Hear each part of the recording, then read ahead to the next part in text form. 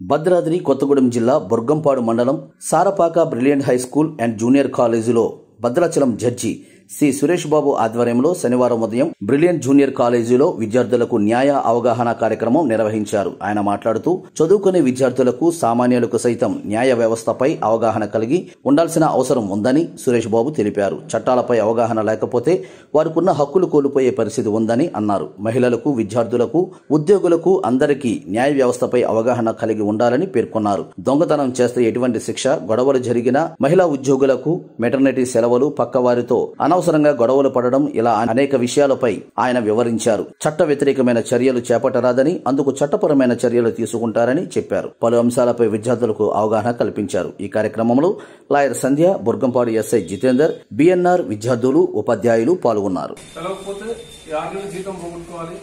Loss కావాలి. Loss of పోవాల్సి వస్తుంది. అట్లా ప్రతి ఒక్కరికి చట్టాల గురించి తెలిస్తే ఒకటి బాధ్యతలు తెలుస్తాయి రెండు హక్కులు తెలుస్తాయి. రెండోది చట్టం జరగకపోతే ఏమైంది? ఎవడో ఊళ్ళో తాగి తిరుగుతుంటాడు అందరిని కొడుతుంటాడు. కొట్టి అరే చట్టం కొడితే తప్ప అని నాకు తెలియదు నన్ను అనుకో అవతల నుంచి వీని చంపుతాడు. చంపేసి అయ్యో వాడిని చంపడం తప్ప నాకు కూడా తెలియదు అంటాడు. లేదు ఈ కొట్టినాడు నేను వాణి కొట్టిన ఏం కాదు లేదు దీన్ని కొట్టిన ఏం కాదు ఇల్లు ఇంకొకరిని కొడతాడు అట్లా వ్యవస్థ దెబ్బతింటది శాంతి భద్రత దెబ్బతింటాయి. మరి కంట్రోల్లో పెట్టాలంటే ఒక కట్టుబాటు నిబంధన ఉండాలి. ఆ నిబంధనలే చట్టాలు. అది మనకు తెలిస్తే మన తల్లిదండ్రులకు మార్కెట్కి వెళ్ళినప్పుడు నేను తన తప్ప మనం ప్రభుత్వం వారు నిర్ధారించారు కాబట్టి నాకు ఆ రేట్ అనేది కొత్తగా అమ్ముతుంది తెలవకపోతే వెయ్యికైనా అమ్ముకోవాలి ఐదు వందలకు అమ్ముకోవాలి.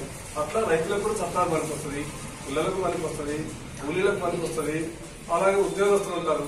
ఆరు నెలలకు ఒకసారి జీతాలు పెరుగుతుంటాయి డిఏ అని.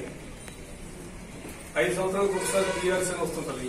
అట్లా అనుమతి లేకుండా తీసుకెళ్తే మూడు సంవత్సరాలు జైలు శిక్ష. అరే పెన్నే కదా ఏం నింపే శిక్ష అంటే పెన్నే ఏదో దొంగతనం దొంగతనే అదనమాట. అంటే మనకు తెలిసినే ఒక చోట నిబంధనలన్నీ పూర్పు చేసి అట్లా చట్టం రకరకాలుగా ఉంటుంది.